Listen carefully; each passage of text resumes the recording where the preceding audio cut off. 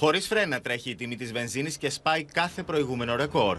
Χθες η μέση τιμή της αμόλυβδης πανελλαδικά σκαρφάλωσε στα 1,837 ευρώ, αγγίζοντας το ρεκόρ όλων των εποχών που καταγράφηκε τον Αύγουστο του 2012 με πανελλαδική μέση τιμή 1,838 ευρώ. Τεράστια αύξηση και φυσικά η βενζίνη. Σήμερα το πρωί πήγα να βάλω βενζίνη και έπαθα σοκ. Στις Κυκλάδες η μέση τιμή χθες της βενζίνης ήταν 2,038 ευρώ. Στα Δωδεκάνησα 1,976, στην Ευρυτανία 1,936. Στις διεθνείς αγορές το πετρέλαιο Brent υποχωρεί ελάχιστα στα 88,6 ευρώ το βαρέλι. Το μέτωπο της ακρίβειας προκαλεί σφοδρή πολιτική σύγκρουση. Υλοποιούμε μέτρα και πολιτικές προκειμένου οι όποιες ανατιμήσεις να έχουν το μικρότερο δυνατό αποτύπωμα στον οικογενειακό προπολογισμό.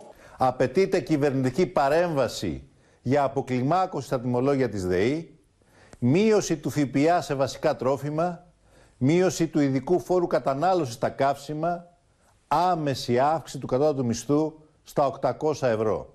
Αντί η κυβέρνηση να ασκεί φορολογικές πολιτικές που δίνουν λίγα στους πολλούς και πολλά στους λίγους, οφείλει άμεσα να πάει σε μια γενναία αύξηση του κατώτατου μισθού με παράλληλα μείωση του μη μισθολογικού κόστους, μείωση του ΦΠΑ στα βασικά αγαθά, Σύμφωνα με τα προκαταρκτικά στοιχεία τη Eurostat, ο πληθωρισμό στην Ελλάδα ανήλθε τον Ιανουάριο πάνω από το 5,1% που είναι ο μέσο όρο τη Ευρωζώνη στο 5,5%, επιστρέφοντα στο δεύτερο εξάμεινο του 2010 και καταγράφοντα υψηλό 11 ετών. Το πορτοφόλι μου βλέπω ότι στενεύει γιατί πηγαίνοντα στη λαϊκή, ενώ ψώνιζε με 20 ευρώ, Τώρα ψωνίζω με 50 ευρώ αυτά που έπαιρνα με 20. Μετράω τα χρήματά μου, πάω στο ταμείο, δεν μου φτάνουν και επιστρέφω τα πράγματα. Ο Υπουργός Οικονομικών επανέλαβε την εκτίμηση πως η αύξηση του πληθωρισμού θα είναι στο μεγαλύτερο μέρος παροδική. Ωστόσο, υπάρχουν αβεβαιότητες που σχετίζονται με την ενεργειακή κρίση και απρόβλεπτες γεωπολιτικές εξελίξεις ή και πιθανές νέες αναταράξεις λόγω νέων μεταλλάξεων του κορονοϊού.